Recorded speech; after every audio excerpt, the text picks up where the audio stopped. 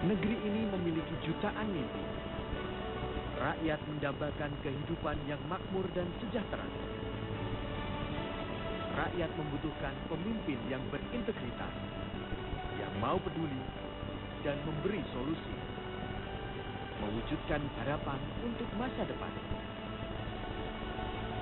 Saatnya mengubah negeri dengan hati nurani. Minati, peduli, peduli.